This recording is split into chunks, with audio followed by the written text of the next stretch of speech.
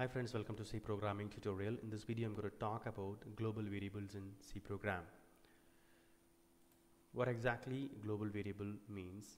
A global variable uh, defined outside a function, usually at the top of the program and you can access any from any of the function. Whereas local variable means it is only visible and accessible within a function or a block. Whereas global variable you can access from any of the function. Okay, so let me show you a sample program. I've declared global variable and I'm able to access within the main function. Even if I have multiple functions here I can access this global variable and it will hold the value throughout the lifetime of the program okay? So if I execute this I'm not getting any compilation error in the sense undefined variable. I'm not getting it.